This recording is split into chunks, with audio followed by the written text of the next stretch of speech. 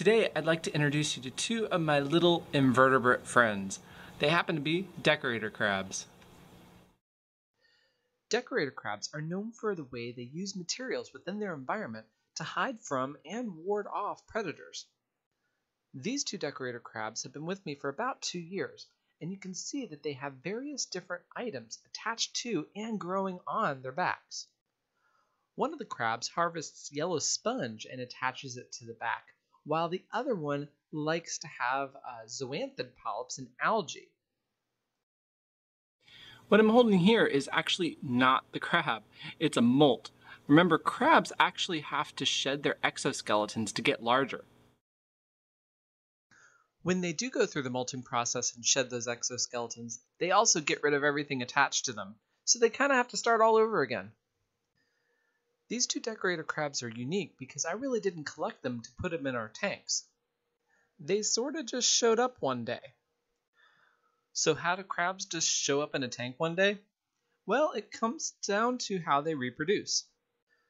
Crabs spend most of their early life as plankton, like this zoea. Eventually, they'll metamorphose into a tiny little crab and settle out on the seafloor. These two crabs happened to settle out on one of our fouling plates that we were using during a study out in the field. So this is an example of one of the fouling plates that our little decorator crabs came in on.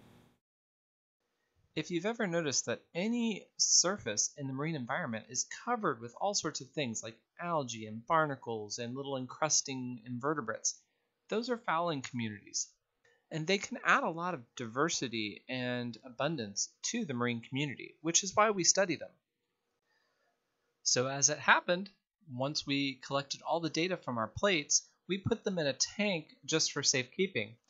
Our little tiny juvenile crabs apparently hopped off the plates and hid in the tank somewhere.